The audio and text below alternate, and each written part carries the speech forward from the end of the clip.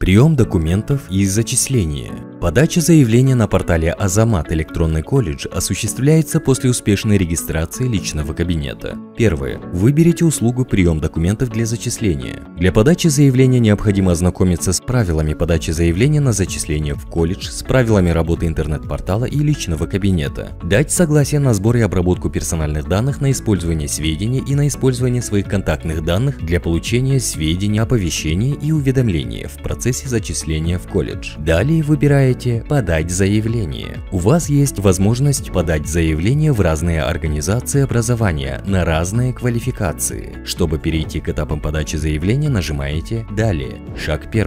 Информация об абитуриенте. Графа «Информация об абитуриенте» будет автоматически заполнена. Если сведения не соответствуют действительности, исправьте их в личном кабинете и только после этого подавайте заявление. Заполните данные в графе «Сведения об образовании». Укажите «Базовое образование». Выберите документ об образовании. Прикрепите скан-копию документа об образовании, в том числе вкладыш с оценками, с помощью кнопки «Загрузить файл». Шаг второй. Выбор квалификации и организации образования. На данном шаге вам необходимо выбрать организацию образования и квалификацию. Имеется возможность одновременно подать заявление на несколько квалификаций. Заполните следующие поля. Организация образования, квалификация, язык обучения, форма обучения, стоимость обучения. После заполнения всех полей нажмите «Далее». Шаг третий. Сбор информации об оценках. На данном шаге вам необходимо заполнить оценки по обязательным и профильным предметам. После того, как укажете оценки, нажмите «Рассчитать средний балл». Расчет среднего балла на данном шаге носит исключительно информативный характер. Средний балл будет автоматически пересчитан после подачи заявления. Переходим далее. Шаг четвертый. Сбор дополнительных документов. На данном шаге загрузите фотографию, медицинские документы, сведения о квоте при необходимости с помощью кнопки «Загрузить файл».